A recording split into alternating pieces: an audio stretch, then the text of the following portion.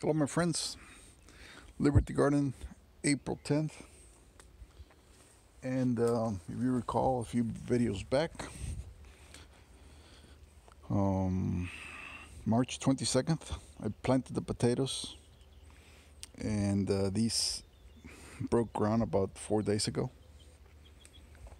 So that was quick. The ones on the wall and the ones here most of them have broken ground already.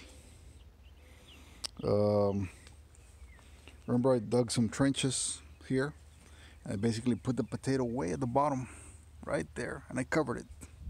So by now this potato plant has has come out about eight, eight and a half inches from the ground.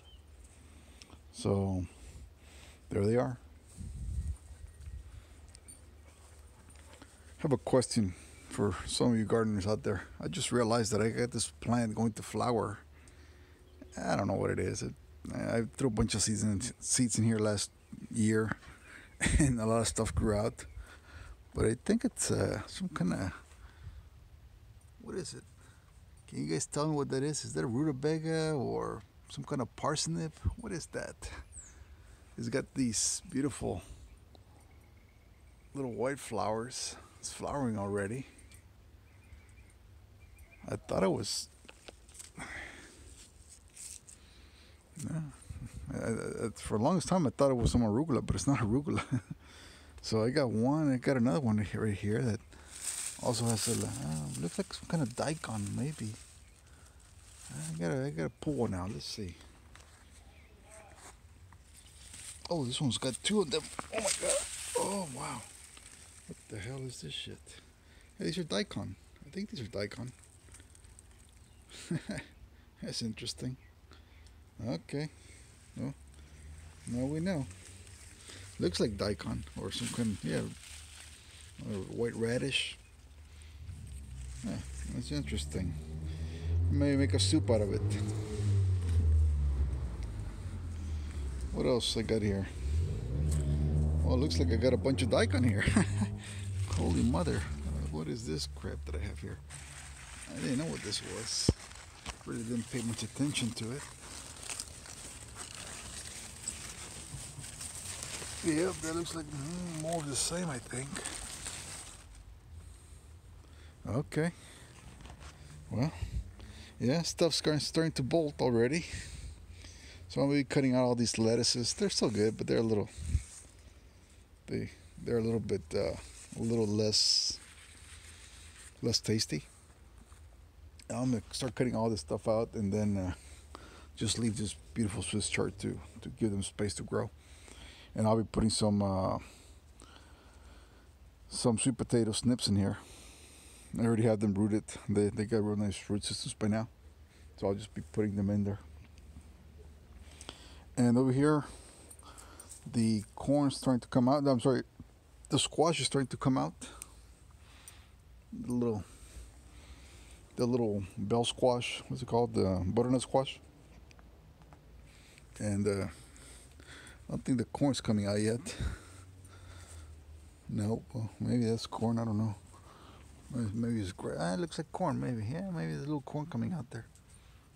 Okay. That's it, folks. Just thought I'd give you a little a little update. Oh, here's a nice pear tree. One one one person was asking me about this these pear trees, the, the Kieffer pear, and um, this tree's been here for about three or four years now. And uh, I got it. I mean, they were gonna throw it away at the nursery, and I brought it home and I just stuck it in the ground and took off like crazy. Uh, but last year, if you look at this thing, look at the crown. It's kind of opened up in the center I pruned it. It had a bunch of a bunch of uh, branches going up real high, so I just took all the all the centers off. See, those were shooting straight out.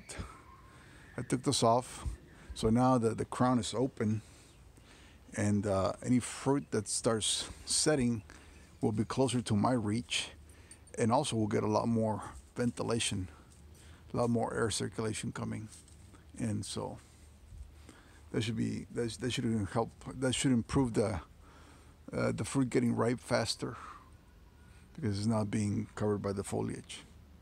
But anyway, it's a good tree. And that's all I got, folks.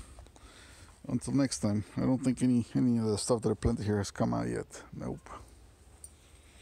Yep. Oh, oh here's a nice. Hey, Stella, get out of there. Yes, tell you, man. A nice, little nice asparagus here. These things grow like crazy, you know. They, they one day they're small, the next day they're like two feet tall. And that's it. That's it. Uh, I'm trying to see what else. Oh, I got some some tomato plants growing here. These ones already have their little first leaves there. We've had some beautiful days. We've, we've been having some beautiful days. All my peppers didn't really break seed, break the ground. I guess they're old seeds or peppers are a little bit a little bit harder to to grow in my experience. But anyway, what else we got here? Yeah, my cactus is putting on your little pads right there. This this cactus has no thorns. I got a bunch of beets here that I need to take out. See, I like growing stuff, but I don't really like eating it too much. Like I don't really care for beets, but people like them, but I don't really care for beets. Little rinky dinky beets. I need to make some beet water with some sugar, sugar beet water. Anyway, till next time, folks.